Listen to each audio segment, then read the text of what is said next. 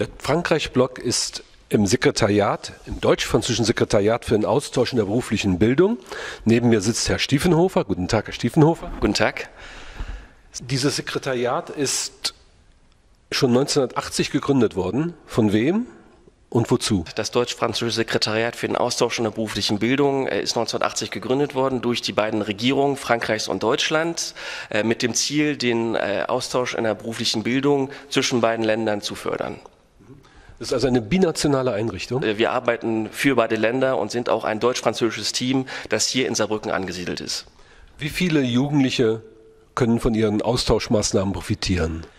Also wenn man sich mal die Statistiken anschaut, zum Beispiel in Bezug auf das letzte Jahr, so hatten wir ähm, über 2000 junge Deutsche und Franzosen, äh, die am Programm teilgenommen haben. Und wenn man das mal auf die Länder aufteilt, so hat man etwas über 1000 äh, junge Franzosen und etwas über 1000 junge Deutsche, äh, die an diesem Programm, die wir finanzieren, äh, teilnehmen konnten. Und darüber hinaus gibt es natürlich noch die, ähm, die Lehrkräfte aus den Einrichtungen und aus den Ausbildungsbetrieben, äh, die mitkommen natürlich. Äh, das sind in der Regel pro Austausch zwei Personen.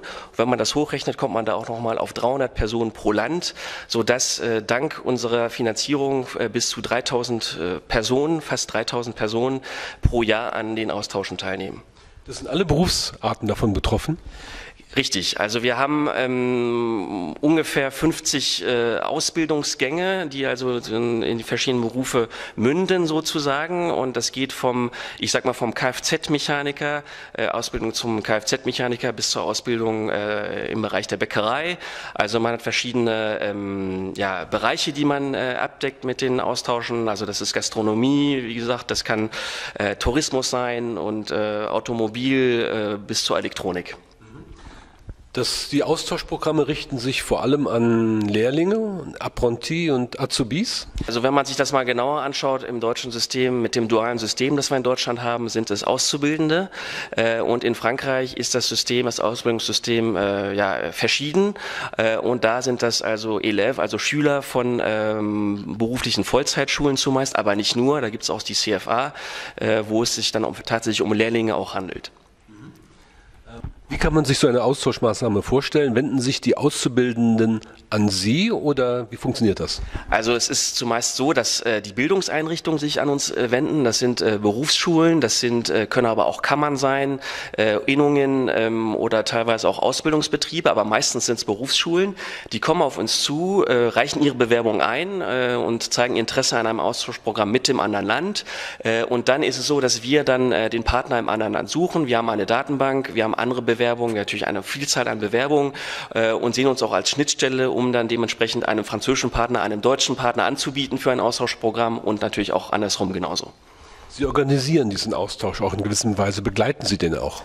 Also wir sind vor allem für die Finanzierung zuständig. Das heißt, äh, wir haben natürlich eine ganze Palette an ähm, Zuschüssen, die wir da anbieten im Rahmen der Aufenthalte, aber auch äh, äh, zum Beispiel äh, Sprachausbildung im Rahmen dieser Austauschaufenthalte.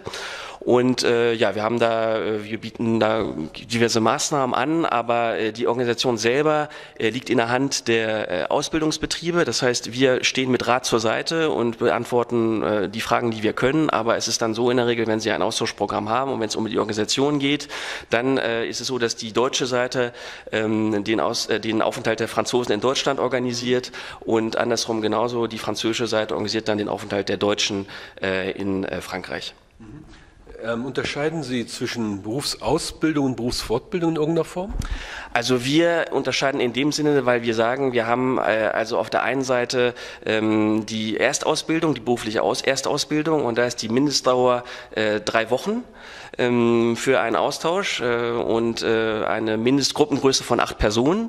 Und gleichzeitig gibt es noch die berufliche Fortbildung und da ist das Minimum zwei Wochen für die Dauer und äh, bei der Gruppengröße sechs Personen. Sehr herzlichen Dank. Vielen Dank.